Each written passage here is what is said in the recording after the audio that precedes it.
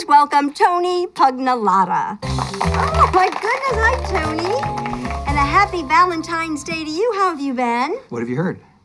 Uh, I haven't heard anything. That's why I'm asking you. So I could say anything and you wouldn't try to verify it? I'm the only source of information you have on this issue and you just take it at face value? Yes, of course. I. Well, in that case, I'm good. Okay. All right. Glad to hear it. So, what are you here to show us today? As you know, Valentine's Day is a day to commemorate your feelings to a special someone. Dude. One way to do it is a card. Another way to not do it is to make a love shrine out of human bones. But if you really want something special for her, might I suggest a tree trunk carving? Now, you're going to want to use a, a sharp, fixed blade knife.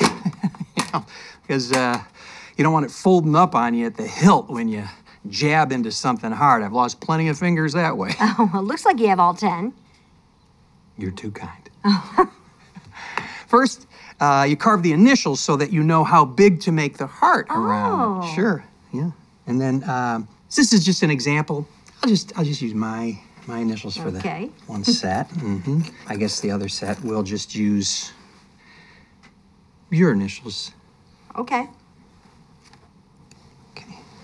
I really like this form because uh, the initials cannot be uncarved. You understand the ramifications of the carving? Uh, I think I'm following.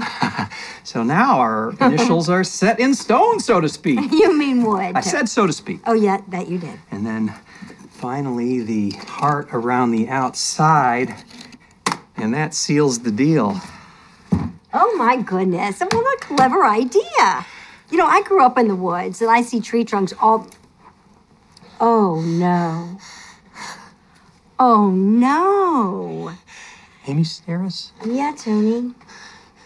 would you be my Valentine? Uh-huh. now I know I am but a humble knife man and I can't offer you a lot in the way of fingers, but I can provide in the way of knives. Tony, get up. Get off your knee. I already have a Valentine. It's really sweet, but I. Just get up.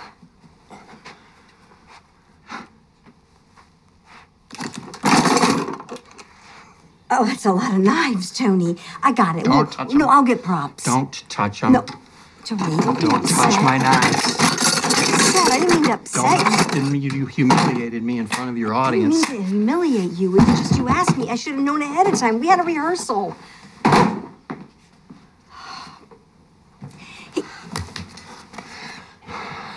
Sleep lightly, Michael Sarah.